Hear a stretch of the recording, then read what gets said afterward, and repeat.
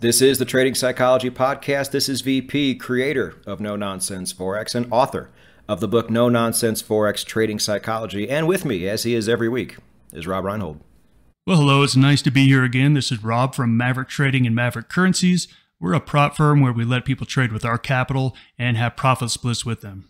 And before we get into episode 17, a little bit of housekeeping we need to go over. So, as uh, constant followers of the podcast know, we've had uh, two book giveaways already. Having a little bit of problems with this, and it's not really a problem on our end, it's a YouTube problem. For some reason, and I don't know why this is, and I don't know how many people this is affecting, but Rob is not, he used to be able to, but he can no longer comment on my channel. Um, and oddly enough, neither can Dan Stone from Stonehill Forex. So the two people I work with to do videos with cannot even post comments on these videos. It's very strange. It really makes me wonder how many of you out there are trying to comment are and are unable to. So I have forwarded this to YouTube. I do not expect to hear anything from them anytime soon. But in the meantime, here's what we're going to do. If you're listening to this on a podcast player and you want to know the results of the book giveaway, please go to YouTube look at the top comment. I'm going to pin a comment from myself, list the winners of the book giveaway. And from there, what you need to do if you're a winner is email support at mavericktrading.com. And then Rob will send it over to you right away. Funny thing is, I can actually comment. I can go on and comment everybody and say, a great job. But then when you go back, my comments are like they never existed. Yeah, because I hold all comments for review so I can get rid of spam and everything like that because I still get a lot of it. I wonder if that plays a part. I'm, I'm not sure, um, but hopefully I'll get some kind of answer soon enough. So, anyway, we are into episode 17. I don't think this is going to be a really long one, but this is more of a VP episode, and it's called Systems Over Goals. And before we get too deep into it, I wanted wanted to find different kinds of goals. We've already done this a little bit, Rob, on the show. There is a very clear difference between good goals and bad goals. I think too often they're painted with the same brush. Can you give me some examples, maybe some examples we've already talked about, of some really good goals traders can have and can shoot for? Yes. And in the last episode, I believe I said that goals to me, I don't I'm not a big fan of goals. So goals to me are like wishes and wishes don't make any money. When you think about that, any goal that is more of a wish, then I think it actually has some negative consequences. Here are some good goals. Number one, goals must be achievable, they must be measurable, and they must have a time limit. So anything you can do in that area is going to be a good goal. If you've read the book Peak, back in our episode of Trading Like an Athlete, we talked about how to become really good at something. And it was to break down a very complex task into very small pieces and perfect those pieces. That's how your goals should be. They should be small and measurable. So anything like that is going to be very positive. Would you say that I want to hit a plus 6% return on my trading account this year? Uh, would you consider that to be a, a good positive goal? No, I consider that a wish, and wishes don't make any money. We said that last episode, and I'll say it again. That's a wish.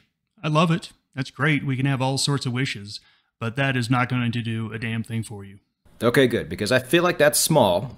It's certainly measurable, but that does fall into the category of goals that yeah, I pers- that I personally hate too. I've even said on my own channel, look, in my head, I do have a certain goal I shoot for every year, but if I don't hit it, I don't hit it. You know, it's just it's it's a little bit of a benchmark, but I don't strive for it because that's really where people get into trouble. Let's say for example that you wanted to make 6% on your account this year. Let's say you started in January and December's rolling around and you're only at 3%. What do you think people are actually going to do in the month of December that they should not be doing, Rob? Trying to get that last 3%. By any means necessary just pushing like oh maybe if i trade really hard you know i can get there you know. Maybe if i just leverage up a little bit just for the month of december you know maybe i can hit that goal. And then what invariably happens? Everything falls apart and you went from 3% all the way down to zero and there you are. Patrick i've got a great idea for your channel. Let's make a trade harder t-shirt. Like you just have to trade harder. Just think of that. That'd be a cool shirt. Work hard, trade harder. I love it. Oh man. And you know what? It would sell not to people who listen to this channel, but it would sell to the majority of Forex traders out there because this is such a big fallacy. I'm glad we're going over this today because this takes a long time to figure out. It certainly took a long time for me to figure out. I thought all goals were good goals as long as they were positive, but they're not. Let's say I want to join a prop firm in two years. Well, for most people, it takes a lot more time than that. Now, you do have to have some experience under your belt. You got to build a system. You got to test a system. You got to trade with the system. You know, it's nonsense. You know, just get there when you get there is the main thing. And, you know, I understand you need something to shoot for, okay? But shooting for a goal like that is the wrong approach. What I think you really should be shooting for instead is being able to follow a routine whether it's a daily routine or a trading routine, or in this case, absolutely both. And what you should be really striving for is to do that at maximum efficiency all the time. What do you think of this, Rob? Anything you can do to break things down into smaller pieces, like we talked about in the Trading Like an Athlete series, is that break it down into something small and manageable that you can measure, then all of a sudden you can actually have success at that. And I'm going to go back to that episode and kind of talk about let's say someone says, I want to be in the NBA. Okay, that's great. That's a great goal. That's a great thing. But do you realize how many steps are in that person's life to even get to that level? So that's great to have that aspirational goal. But how about just work on your free throws until you hit nine out of 10 all the time? Just do that. Just start there. All of a sudden, you can progress and measure and feel good about yourself. Whereas someone else might be frustrated that they're not in the NBA yet. Break everything down into little pieces and you're going to be amazed at where you are. And I'm not going to say that, you know, I want to join the NBA, you know, especially if you're young and you have talent, is a stupid goal. For most people it is, but for some people it's not. However, you're not going to get there unless you follow a very disciplined system in your daily life. I mean, how many times have you seen kids with all the talent in the world show up on a college team, you know, but they're lazy and they never make it to the next level. Or somebody takes a chance on them, they end up going to Europe, they don't make it there either, just because they don't have a routine in place. That's why I think that daily routine episode was so important because my goal every day at this point, Rob, is to take that daily routine and make sure I hit every single bit of it. That to me is a successful day. And if I'm able to string that together all week, then that becomes a successful week. Because if I just do that, I feel like there's no way I can't succeed. I have the ability, I have the drive. I just need the discipline and the actual um, actionability to go with it. And I think that's what's missing in a lot of people's lives. Just take a goal like, I want to be able to walk a mile. That's a great goal, but guess what? The only way you get there is by taking a step and another step and another step and focusing on each step. If that's where your focus is, you'll get to the end.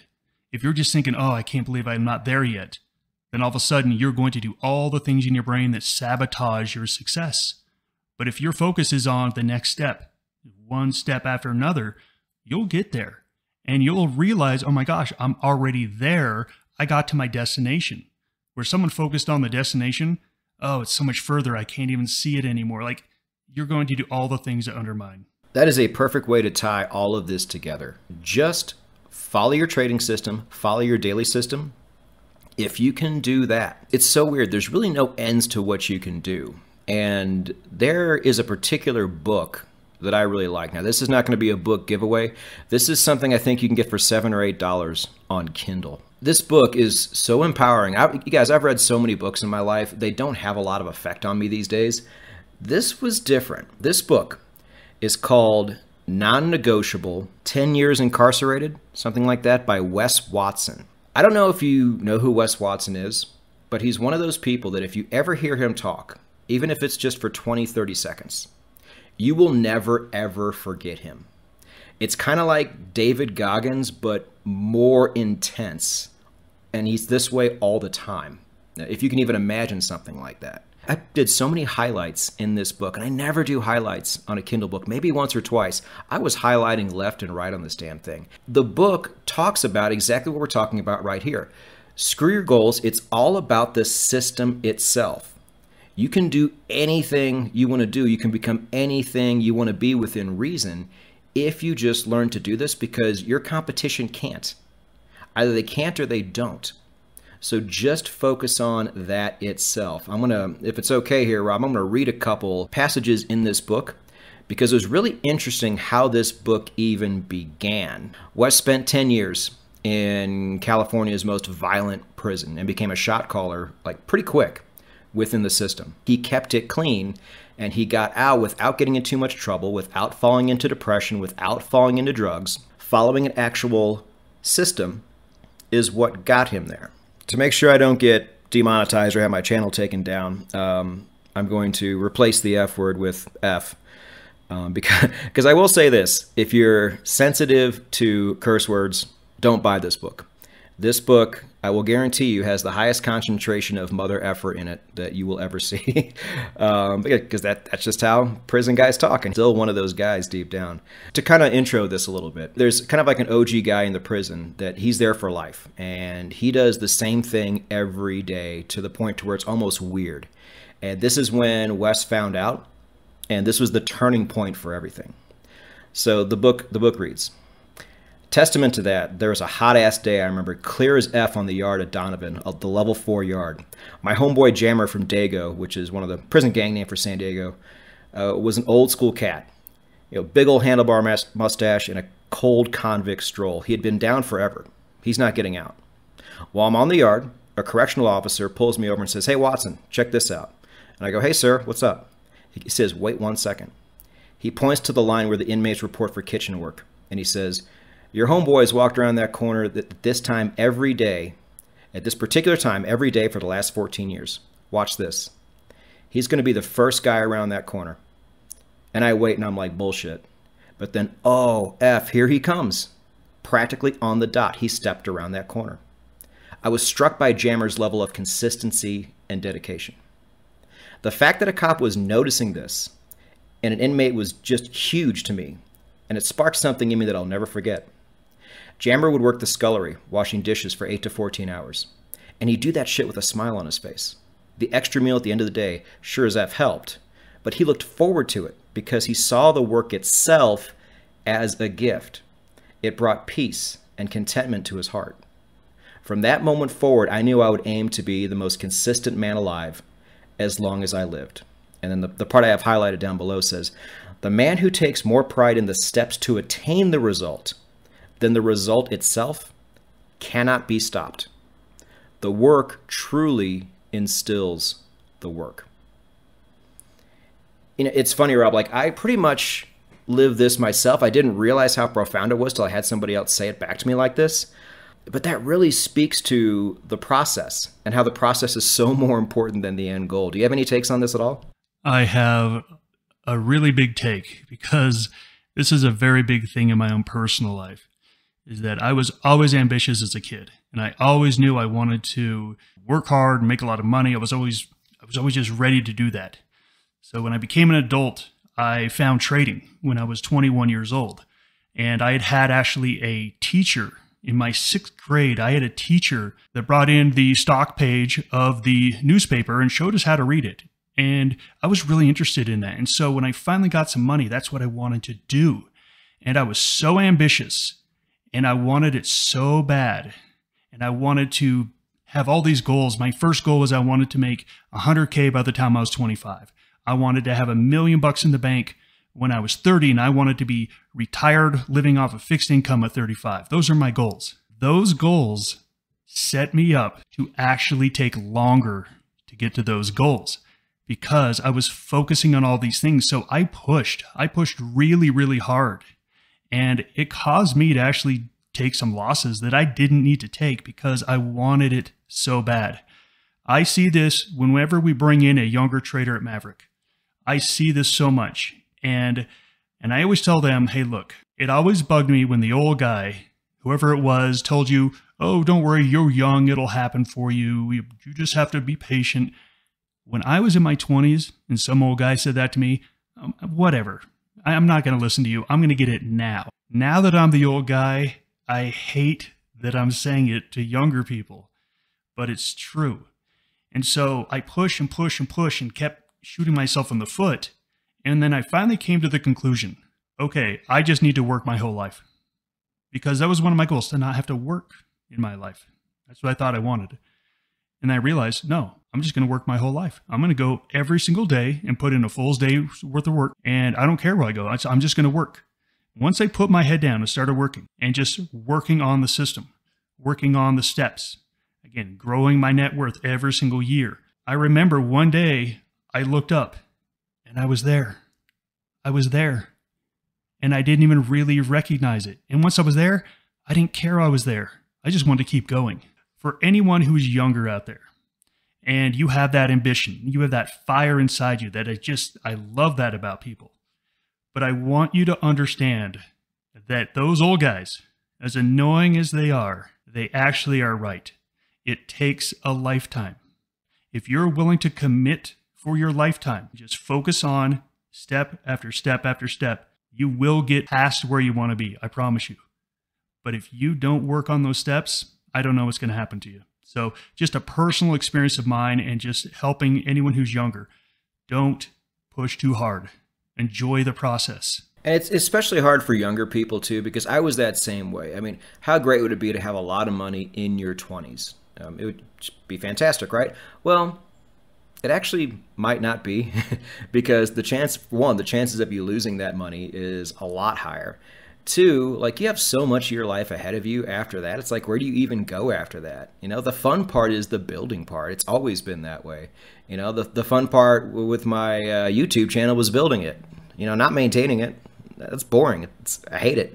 The fun part was building my system and trading. I've said I've said it out loud on this podcast. You know, I don't particularly enjoy trading, even though it's really quick and doesn't take up most of my day. I've just done it so long. All the excitement that used to be there just isn't there anymore. Enjoy the ride. The ride is the best part. There don't be in any hurry to get there because it is the worst thing you can do and it's just it's going to set you back instead of push you forward. Fall in love with the system, embrace the process. You know, that's the best thing I can say to anybody.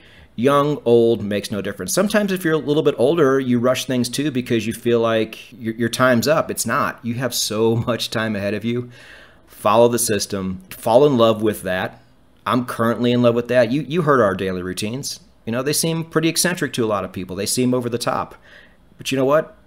We follow them. I don't know about you, Rob. I feel like I'm in a good place because of it. What about you? I'm at a fantastic place. I do love my routines, but I love to travel as well.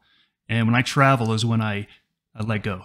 I let go and I don't follow any routine. I don't go to the gym. I don't work out. I always say two things on vacation, two things don't matter calories and money.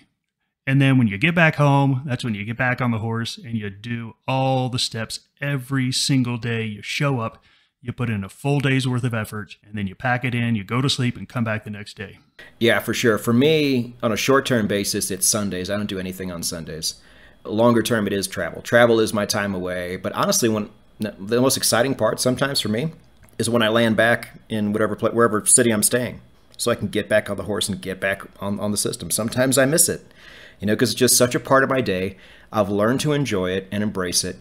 And God, it, it's so much better than trying to hit a goal that could have so many weird variables step in your way on top of it you know that's not that's not even your fault. And then you don't hit it. I just it took me so long to learn this. And so i'm so glad we're able to share it with you now. Really honestly you know please check out that book it's a pretty quick read it's very intense but it is impactful is all i mean it is impactful as i as i've read a book in probably a five six years honestly rob do you have anything else to add before we sign off here Yes. One of the things I now tell people is that if you have these aspirational goals, and again, we love those, I guarantee you, guarantee you that the path you thought would take you there doesn't end up being the path that gets you there. I promise you that. And Patrick, as you said, things will come up.